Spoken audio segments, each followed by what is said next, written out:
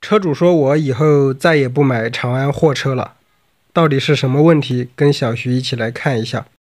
朋友们，你们好，我是小徐。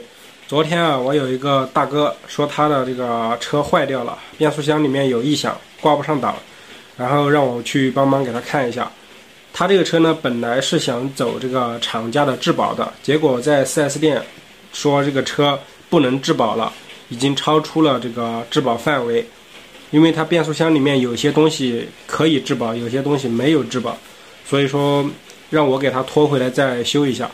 大家都知道啊，在 4S 店里面修车肯定是比较贵的。然后我去了 4S 店呢，看了一下情况，就是变速箱里面有很多的这个铁渣。4S 店给的意见就是更换变速箱总成需要好几千块钱。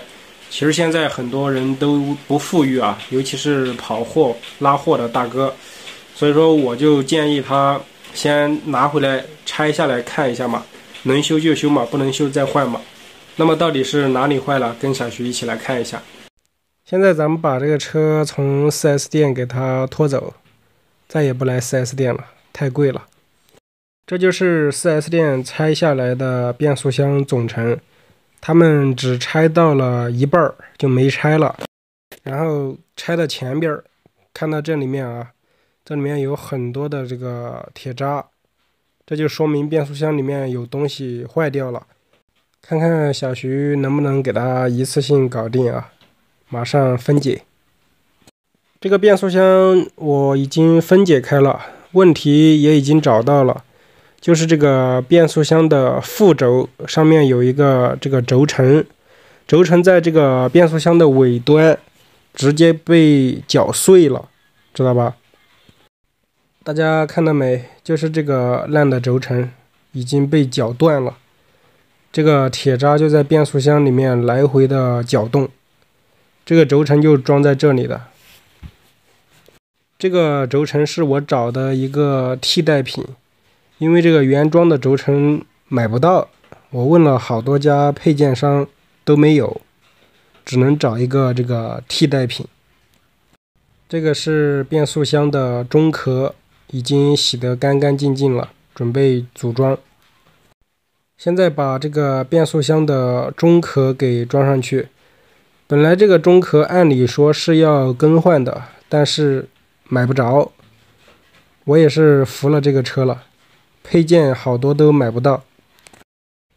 这个轴承它就是在这里被磨了，大家看一下，轴承对应的位置是在这个尾壳的后面。相当于轴承这半边就装在这里的，你看这个轴承坏了之后，就把这个壳体给磨成什么样子了。而且这个尾壳也是没有卖的，我也是服了这个车了。问了好多个配件商都没有卖的，我只能给它轻微处理一下，将就着装吧。这个叫变速箱尾壳，它就是装在这里的，看到没？就这样装上去的。那个轴承就相当于在那里硬磨，导致了异响。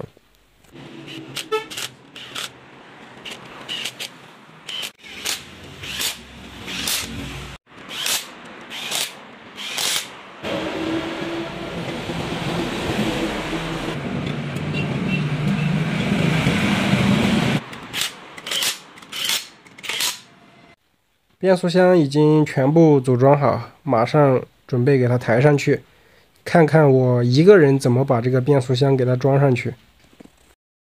看到没？这个变速箱是这么装上去的，因为条件有限，呃，用这个千斤顶自己趴在地上慢慢往前面装。好，现在变速箱已经全部装好了，都装上车了，非常简单，这个车的变速箱。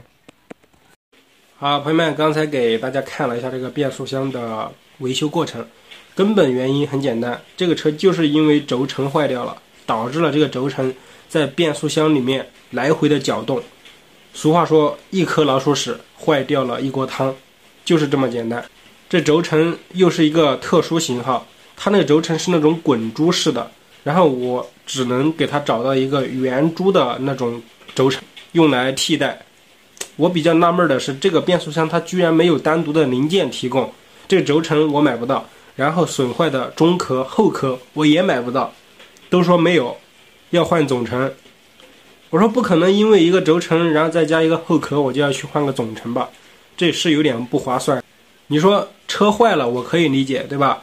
呃，这个毕竟它跑了四万八千公里，而且也长时间没有换油。但是你说没有单独的零件提供，我就很不爽了。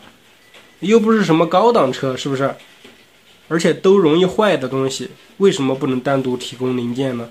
怪不得车主说啊，他再也不想买这个车了，而且他现在马上就想把这个车给卖掉。也不是说这车不好，那你说以后要是再坏了，那又得换总成，那你说你能受得了不？反正我是受不了的。我买一个车没有单独的零件提供，即便有这个单独的零件提供，那我还得去大费周章的去买，还到 4S 店才能买到，那不闹心嘛？是不是？好，今天的视频就给大家分享到这里啊。呃，下期视频再见，拜拜。